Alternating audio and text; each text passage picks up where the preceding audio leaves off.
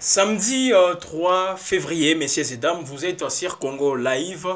Nous vous accompagnons une fois de plus en faisant un point, voilà, toujours comme vous le savez, sur euh, la situation sécuritaire dans l'est du pays. Alors nous sommes en province du Nord Kivu, les territoires des Massissi, même aux environs des Goma. Beaucoup de choses qui sont, sont déroulées et nous allons donc euh, en parler. Alors avant de faire des analyses, tout en, en se penchant beaucoup plus sur tout ce qui s'est passé ce week-end, ah, depuis hier vendredi, même c'est samedi, beaucoup d'effets euh, sont aussi à soulever. Sur Congo Live, nous sommes en direct pour commencer avec euh, monsieur Augustin Kapila, lui qui est euh, cadre du parti IDPS ici en ville de Goma. Monsieur Augustin Kapila, en direct de Congo Live, bonjour.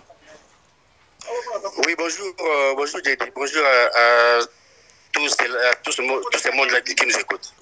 Alors, Augustin Kapila, la situation euh, sécuritaire nous intéresse une fois de plus. Alors, avec vous, quelle impression avez-vous euh, sur tout ce qui se passe à Massissi, euh, quelques villages voilà, qui sont à Massissi, les comportements aussi des forces armées de la République démocratique du Congo et les jeunes patriotes Ouazalendo Dites-nous vos impressions?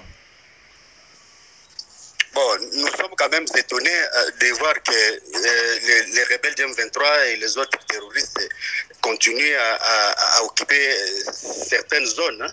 Et bon, à, mon avis, je crois que bon, c'est un combat. Ils sont en train de se battre avec nos forces armées et que la population soit quand même calme, qu'elle ne soit pas vraiment paniquée par rapport à, cette situation. Euh, Je crois que les forces armées euh, doivent quand même se comporter bien sur les lignes de front parce pour rassurer, n'est-ce pas, toute la population de Massissi et aussi euh, toute la population Nord Kivu, surtout nous qui sommes dans la ville de Goma parce que ces, gens-là, ils sont en train de viser maintenant la, ville de Goma parce que comme, ils commencent déjà à menacer euh, euh, Karuba, Mouchaki, Sake, euh, à quelques kilomètres de la ville, donc euh, c'est quand même inquiétant. Mais je crois que la population ne peut pas céder, n'est-ce pas, à cette panique. Euh, alors, à mon humble avis, euh, nous devons tout simplement à, nos- forces armées euh, de bien se comporter et rassurer la population par rapport à, tout ce qui se passe. Hmm, Les bons comportements des forces armées de la République démocratique du Congo, tout comme de ces jeunes Ouazalendo, pour vous, ces comportements seraient encouragés par quel mécanisme Bon, le, le- le adopter nos forces armées, c'est que les jeunes gens de Ouazalendo, euh, c'est combattre. Il n'y a pas un comportement qui, qui, qui doit qui, qui, doivent, qui pas, euh, tenir. Je crois qu'ils ont tout, ils ont les armes, ils ont tous les moyens possibles parce que le, gouvernement leur a donné presque tout. Alors, euh, on ne comprend plus rien, nous ne savons pas qu'est-ce qui se passe euh, au GIS. Je crois qu'ils veulent tout simplement faire euh, pression au président de la République, parce que d'ici là, il va former le gouvernement. Alors, pour l'empêcher de, de- de ne pas le faire, c'est comme ça, ils mettent pression pour que euh, qu'on puisse aider à leurs euh, revendications. Alors, les Wazalendo, avec nos forces armées, ils doivent travailler, n'est-ce pas, euh, en conformité, parce qu'ils ont presque tous les moyens. Alors, de, ils doivent combattre, n'est-ce pas, l'ennemi. Ils ne peuvent pas donner la chance à l'ennemi de, pouvoir progresser vers ça. Sinon, ça sera une panique totale ici dans la ville. Donc, euh, nous pensons que et il est grand temps, il est grand temps, et comme nous sommes aussi sous l'état de siège, alors le, gouverneur militaire, il est là avec tous les généraux qui sont en train de coordonner euh, les opérations militaires. En tout cas, ils- doivent, ils doivent vraiment aider la population, n'est-ce pas, en, nous rassurant, à se combattre vraiment far- farouchement contre l'ennemi. On ne peut pas quand même donner l'ascendance à l'ennemi de pouvoir euh, d'avoir euh, euh, quoi, le, pouvoir ou la force devant les forces loyalistes. Donc, ils, doivent nous rassurer, voilà. Hmm. Alors, Monsieur Augustin Kapila, euh, l'option d'un dialogue, pour vous, est-ce envisageable aujourd'hui? Parce que, les- que ce soit avec les Rwandais, avec les M23, ça c'est ça et là. Les dialogues, est-ce c'est possible? Bon, justement, parce que euh, à, l'instant où nous sommes aujourd'hui, c'est parce que le président de la République, il, avait dit non au dialogue. Il avait dit qu'il ne peut pas, qu'il ne peut pas s'asseoir avec les terroristes de M23 pour parler avec eux. Alors aujourd'hui, nous pensons que euh, on est en train de les pousser maintenant au dialogue. Et euh, moi, particulièrement, je ne serais pas, je ne serais pas vraiment d'accord avec le dialogue avec ces gens-là parce que ils ont toujours eu les mêmes revendications pour dialoguer, c'est-à-dire accepter tout, tout, ce qu'ils vont vous donner comme revendication, c'est-à-dire réintégrer l'armée congolaise, réintégrer aussi les, les, les, institutions de la République. Et, sinon, à ce moment-là, nous aurons déjà des infiltrés au, niveau euh, euh, de toutes les institutions, de la République. Parce que nous pensons que nous, connaissons que c'est lui vraiment qui, aujourd'hui, est en train de pousser ces gens-là à nous combattre. C'est les Rwanda. Il n'y a plus à se cacher là-dedans. Mmh. C'est-à-dire, si on s'assoit autour d'une même table, parler avec euh, ces gens-là, c'est-à-dire nous parlons directement avec les Rwandais qui nous ont agressés, ça fait très très longtemps. Je crois que moi, personnellement, je, ne suis pas d'accord pour le dialogue, parce que le dialogue ne va rien nous, euh, nous, nous, amener comme, comme solution. Parce que ce n'est pas la première fois quand même qu'on dialogue, qu'on dialogue avec, avec ces, gens-là. Donc l'unique solution pour nous, c'est l'option militaire doit être vraiment euh, une option valable pour mettre fin, n'est-ce pas, définitivement avec cette histoire de M23. Sinon, le dialogue ne, ne va pas nous permettre vraiment à vivre vraiment en paix ici chez nous. Alors on va terminer par un message, c'est vrai, vous avez euh, dit euh, qu'il ne sait pas le moment de euh, faire face aux différents, disons, des, des actuellement. Il faut toujours rester concentré. Les forces armées de la République démocratique du Congo qui continuent de faire leur travail comme il se doit, accompagné aussi par les jeunes patriotes Ouazalendo. Alors un message à ces niveaux-là, parce que c'est vrai, les autorités au niveau national, leur implication est aussi très nécessaire. Ces jeunes Ouazalendo, tout comme les FARDC, c'est qu'ils doivent faire un message d'encouragement, mais également à la population qui ne doit pas euh, désespérer. Hmm, vraiment, à la population du, du, Nord Kivu, nous, nous leur demandons tout, tout simplement de ne pas être paniqués et de ne pas suivre toutes les, toutes les informations qu'on leur donne. Parce que je crois que euh, les réseaux sociaux aussi parlent beaucoup. Ils ont, il y a l'intoxication, le mensonge. Les gens disent n'importe quoi. Donc, que la population soit calme et apaisée. Et le gouvernement, à travers nos forces armées, en tout cas, ils sont quand même en train de faire un effort pour bouter dehors, n'est-ce pas, euh, ses ennemis. Alors, euh, au niveau national, aujourd'hui, quand même, l'armée congolaise, nous avons des militaires. Hein, on vient de former plus de 40 ou 50 000 militaires. Alors, tous ces jeunes-là, tous, tous ces jeunes gens-là qu'on a formés comme militaires, alors on doit, on doit vraiment les déployer ici chez nous avec les moyens conséquents pour mettre fin définitivement avec, n'est-ce pas, euh, cette agression qui a, qui, a beaucoup perdu. Voilà, monsieur Augustin Capilla, je tiens à rappeler que vous êtes euh, cadre de l'IDPS ici à Ville de Goma. Je vous dis merci. Merci beaucoup, Denis. Voilà, messieurs et dames, vous venez euh, là d'avoir aussi une analyse hein, de monsieur Augustin Capilla.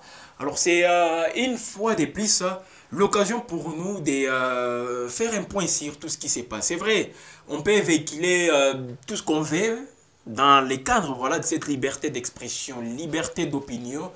Mais qu'est-ce qu'on gagne voilà, en donnant des fausses informations? Là, c'est un aspect aussi qui euh, gagne du terrain aujourd'hui les fausses informations qui sont euh, véhiculées ça et là, vous le savez, pas plus tard euh, hein, qu'avant-hier, on nous disait qu'il y a une déclaration qui était aussi faite par euh, les généraux, dans les cas de la SADEC, les généraux tanzaniens, mais allez-y comprendre que c'est toujours une façon de vouloir décourager ces efforts qui sont aussi en train d'être manifestés par les jeunes patriotes ouazalendo. Ces jeunes, je vous dis, sont en train de défaire les meilleurs d'eux-mêmes. Et aujourd'hui, c'est difficile pour eux d'abandonner les lignes de front. C'est très difficile pour eux d'abandonner. C'est pour cela que nous sentons cette résistance. Alors l'ennemi, pour lui, qu'est-ce qu'il fait? Il commence maintenant à utiliser d'autres mécanismes en larguant même des bombes aux environs de la ville de Goma. Imaginez un quartier comme le quartier Mugunga, c'est en plein, c'est en ville de Goma, voilà.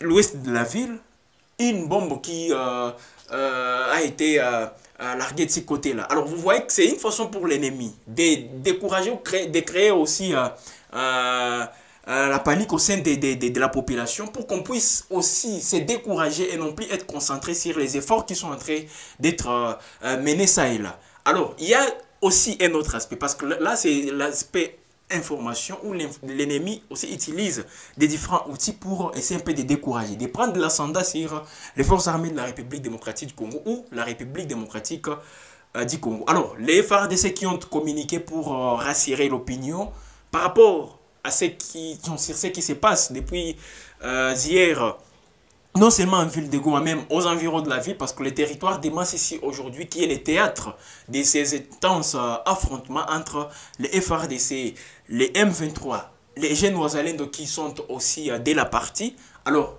les FRDC qui ont rassuré l'opinion. C'est vrai, l'ennemi ne cesse de, faire toujours ce genre de pratiques pour euh, euh, décourager, comme j'étais en train de le dire, les efforts euh, que les uns et les autres, et les autres sont en train de, de, mener.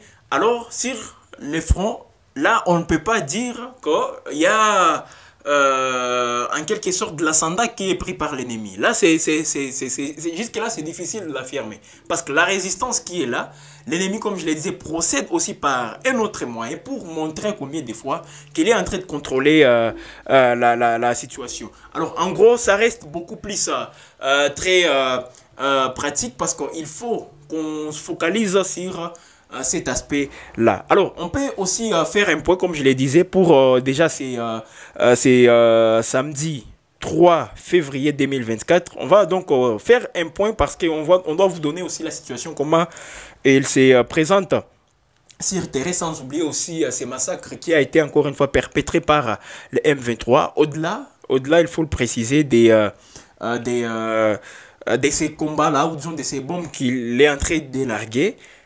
En tout cas, il est en train aussi de procéder par d'autres mécanismes au sein même des zones euh, que l'ennemi occupe. Alors, les combats M23, RDF, euh, Wazalendo, FRDC, depuis dans la matinée de ce samedi 3 février, comme je le disais, intense affrontement en ce moment dans les villages des Chacha en territoire des Massissi. Une bombe tue une personne et blesse euh, quatre autres. Alors, déjà là, c'est euh, comme je le disais à côté des Chacha, euh, chez l'évêque Kaboyi, une bombe qui a tué une personne et blessé quatre, dont des hommes. Et euh, on voit aussi des femmes. Alors, en ce moment, les combats sont rides. Les M23 RDF sont un loin de la route Sakeminova. Et ce sont des sources locales qui nécessitent aussi de clarifier tout ce qui se passe. Voilà donc la situation, ils sont un peu loin de la route Osake Minova. C'est vrai, ils ont leur objectif. Et les FARDC, ils ont aussi l'objectif qui reste tout de même constitutionnel de défendre euh, l'intégrité du territoire. Alors, c'est vrai, on ne va pas s'arrêter juste à la défensive. D'autres mécanismes seront employés. Mais avant d'y arriver, on doit récupérer ou on doit mettre à mal l'ennemi par rapport aux zones qu'il occupe. Alors, pour y arriver, ça passe aussi par des tacts. Et ce sont là les travaux qui euh, s'est fait. Donc, il n'y a pas moyen aujourd'hui de paniquer. C'est vrai, nous sentons, nous, nous voyons tout ce qui se passe, mais est-ce que c'est le moment de paniquer? Parce que si une fois nous paniquons, nous, allons tomber directement dans les jets de l'ennemi. Les jets de l'ennemi qui est de nous mettre dans une psychose totale où on ne saura même pas si on doit soutenir les FARDC, si on doit euh, chercher comment aussi nous-mêmes à se protéger ou directement fuir les zones qui sont aussi sous menace. C'est ça la stratégie de l'ennemi. Alors, qu'est-ce que nous devons faire? C'est regarder la même euh, motivation. Derrière toujours les forces armées de la République démocratique du Congo, on n'a pas d'autres mécanismes euh, qu'il faut employer. Alors, si une fois nous nous focalisons beaucoup plus sur cet aspect-là, nous espérons que les choses peuvent aller. Ce pas la première fois que la guerre, ou disons même que ce soit la bataille, la guerre tout entière, elle est... Euh, euh, gagné par les forces armées de la République démocratique du Congo avec l'appui de la population. Alors aujourd'hui, il est grand temps de se focaliser une fois de plus sur cet aspect parce que nous pouvons tout de même euh, y arriver. J'étais en train de faire allusion, de faire euh, un point sur les, les meurtres, hein, voilà, qui a été aussi perpétré par les M23 et cette fois-ci c'est le bureau conjoint des Nations Unies pour euh, les droits de l'homme BCNUDH en République démocratique du Congo qui a émis une condamnation catégorique suite à l'assassinat brutal du pasteur euh, Ouize Yimana Joseph défenseur des droits de l'homme. Alors c'est meurtre qui a été comme je le disais perpétré par les membres du groupe rebelle M23 selon cette structure onisienne. C'est le BCNUDH qui l'a dit. Voilà. Alors, euh, ça s'est passé au juste Alors, les drames qui s'est déroulé euh, le 31 janvier 2024 à Karambi, collectivité des Buito, où la victime a été décapitée par euh, des membres du M23 qui les recherchaient voilà, pour son engagement au sein d'une organisation locale. Alors, M. Ouizeimana, qui figure, on peut dire une figure aussi très importante et respectée beaucoup plus dans les domaines des droits de l'homme, était reconnu pour son travail auprès des victimes et son combat entre l'impunité. Voilà, voilà maintenant euh, l'essence euh, euh, d'humanisme hein, qui n'est plus en tout cas dans le chef de l'ennemi. C'est monsieur, comme vous venez de comprendre, lui qui travaille beaucoup plus dans les organisations locales et il était très proche de toutes les victimes. Parce que les victimes, ce ne sont pas seulement celles-là que nous voyons, que ce soit dans les champs, dans les camps de déplacés, ou soit dans les différents lits euh, d'hôpitaux, ce ne sont pas seulement elles les victimes. Les victimes se retrouvent même dans des zones occupées par les MV3. Ils sont aussi euh, très mal, euh, ils passent des moments très difficiles. Et quand on a des gens qui sont à côté d'eux pour euh, les accompagner moralement, voilà, pour euh, les rebelles, ça passe très mal. Et voilà donc ce monsieur qui a été aussi... Euh, qui, de payer les prix voilà, des, de son engagement par rapport à ça. Et c'est le Bureau conjoint des Nations Unies pour les droits de l'homme qui vient de l'affirmer. Voilà donc notre solidarité qui ne doit pas aussi être mise de côté. Elle doit toujours et d'actualité. Alors revenons en ville de Goma, parce que cette psychose, on a même réussi des réactions des uns et des autres disant comment ça se passe que l'ennemi commence maintenant à attaquer Goma? Est-ce que la ville de Goma, elle est aujourd'hui sous l'emprise de l'ennemi ou soit d'autres aspects? En tout cas, ce qu'il faut dire, la ville de Goma reste, reste tellement hein, sécurisée par les FARDC. Non seulement les FARDC, même d'autres partenaires euh, qui interviennent dans les domaines sécuritaires aux côtés des forces armées de la République démocratique du Congo sont là aussi pour sécuriser la ville de Goma. Non seulement la ville de Goma, parce que nous, nous sommes en train de voir qu'ils veulent faire mieux. Et pour faire mieux, il, ça nécessite aussi qu'il y ait, euh, comment dire, euh, la mise en place des différents aspects pour y arriver. Ces aspects-là sont entre autres non seulement la motivation pour les hommes des troupes, mais également la détermination morale. Et ça passe aussi par, comme nous sommes en train de l'observer, par cet engagement patriotique et les forces armées de la République démocratique du Congo n'ont pas abandonné ces aspects-là. Alors, la ville de Goma, elle est sécurisée parce que j'ai répondu directement à la question qui nous a été euh, demandée si la ville de Goma est sous l'emprise de l'ennemi. La ville de Goma est toujours contrôlée par les FRDC et par rapport à ce qui s'est passé hier, quand euh, les M23 ont largué euh, une bombe au niveau euh, des, des, des du, quartier Mugunga, et même le quartier Lac Vert a été aussi concerné. Directement, le gouverneur militaire ad intérim de la province du Nord qui vous s'est rendu lui-même sur les lieux pour constater ce qui se passe. Alors, il a vu, oui, c'est vrai, il y a eu même des blessés, et il s'est dirigé directement à l'hôpital pour euh, voir comment est-ce que les blessés sont pris en charge. Voilà, donc nous sommes appelés aujourd'hui à gérer toutes ces, euh, questions-là, tous ces aspects entre euh, en, compte et nous devons tous nous focaliser sur ça pour bien gérer cette, je dirais, cette situation. Alors, il a vu ce qui s'est passé à Mugunga et puis il s'est dirigé à l'hôpital comme je le disais. Et pour l'instant, il y a un calme qui règne dans la ville parce que c'est vrai, ça s'est passé hier et tout le monde, c'est ça que j'apprécie. Au lieu que les gens puissent paniquer, ils ont compris que c'est le jeu aussi de l'ennemi. L'ennemi veut tout simplement créer cette psychose et qui est aussi euh, qu'on puisse tomber dans une euh, euh, certaine voilà débandade et qu'on puisse même nous désorienter de l'objectif principal parce que je le disais, c'est pas seulement parce que c'est vrai, ce sont les FARDC qui ont géré Hein, défendre la patrie, être prêt à verser leur sang pour que euh, la patrie soit euh, défendue comme il se doit. Mais nous tous, nous sommes aussi appelés par devoir patriotique d'appuyer ces forces armées de la République démocratique du Congo. Mais pas véhiculer aussi des informations qui tombent ça et là. C'est vrai, aujourd'hui, il y a aussi une stratégie pour l'ennemi, jouer avec l'information.